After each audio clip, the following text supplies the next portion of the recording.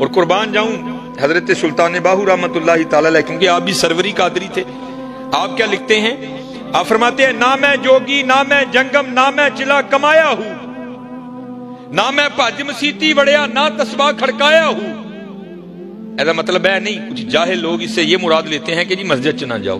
उनकी मुराद ये है, जिस तरह हम मस्जिद में आते हैं, वो कहते हैं, हम तुम्हारी तरह नहीं गए कभी। चौधरी बन के, हम जब भी मस्जिद में गए, हम अबद बन के गए हम ये नहीं, इसका मतलब कि वो मस्जिद में नहीं गए। या इसका ये मतलब नहीं कि उन्होंने तस्वीर नहीं फेरी, नहीं। उन्होंने वो वाली तस्वीर नहीं फेरी कि तस्वीर फिरी, पर दिल नहीं फिर कि लेना तस्वीर फड़ के हुई। नहीं, हज़रत तस्वीर भी फिरती थी, साथ उनका दिल भी फिरता था तो आप आगे लिखते क्या है? ना मैं जोगी, ना मैं जंगम, ना मैं चिला कमाया हूँ। ना मैं भज मसीती वड़िया, ना तस्बा खड़काया हूँ। हज की फिर सारी ज़िंदगी कीता की। ने हाँ है कीता ही। जो दम गाफिल, सो दम काफिर, मुर्शिद फरमाया हो। अब हज़रत, जरा बड़ों की सुनो।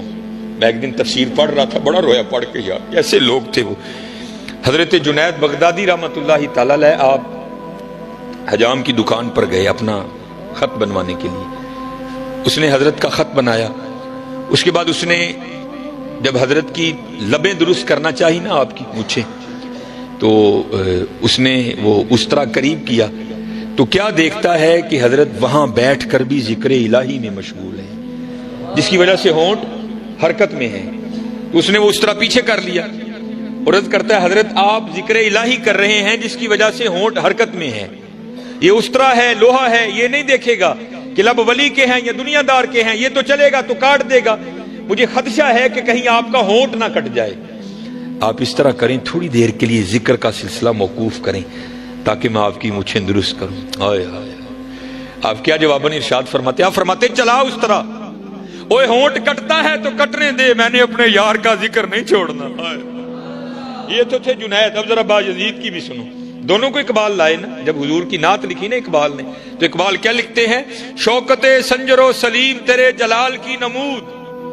फकरे जुनैदो बाजीद तेरा जमाल बेनकाब। अब जरा बाजीद की भी सुनो हज़रत, नक्शबंदी बाबे आपके एक खादिम है, जिनका नाम था जैद। वो कहते, जब मैं हज़रत की खिदमत में आया ना, पहले दिन, बतौर खादिम तो हज़रत मुझे पूछते हैं, और तेरा नाम की है? तो कहते मैंने अर्ज़ की, हुजूर, मेरा नाम जैद है। कहते, दिन गुजर गया, रात बीत गई। अगली सुबह फिर पूछते हैं वो तेरा नाम क्या है? कहते, मैंने की हुजूर मेरा नाम जैद है।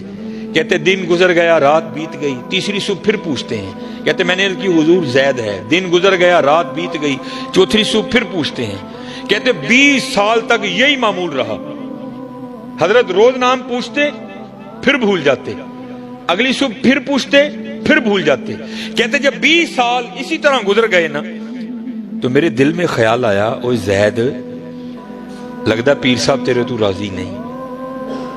इतनी बेतवजही बीस साल होने को आए, तेरा नाम ही नहीं याद हुआ। तो कहते, मैं रोता रोता हज़रत की खिदमत में गया, हुजूर, मुझसे कौन सी खता हुई? ऐसी बेतवजही? तो सूफी बड़े रकीकुल कल्ब होते हैं ना, आप भी रो पड़े। आपने फरमाया, तू क्यों रो रहा है? अर्ज़ की, हुजूर, मेरे लिए तो रोने का मुकाम है। बीस साल हो गए अपने पीर की खिदमत करते करते, ऐसी बेतवजही जो सबसे ज़्यादा करीब है, उसका नाम फिर नहीं याद। ये तो इस बात की दलील है कि आप मुझसे सख्त नाराज़ हैं। तो कहते हैं, हुजूर रोकर कहने लगे जा अपना काम कर, तू ना इस काम में पढ़। ये बात खुशी या नाराज़गी की नहीं है।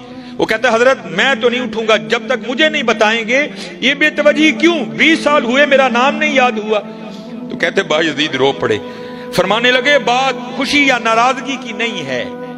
हाँ बात ये है कि जब से मैंने उसका नाम याद किया है, मुझे सारे नाम भूल गए। हाँ। यहाँ फिर हजूर बुल्ले शाह लिखते हैं सईयो नी मैनू रांझा सदो सईयो नी मैनू रांझा सदो हीर ना आखो कोई रांझा रांझा कर दी मैं आपे रांझा हुई हाँ यार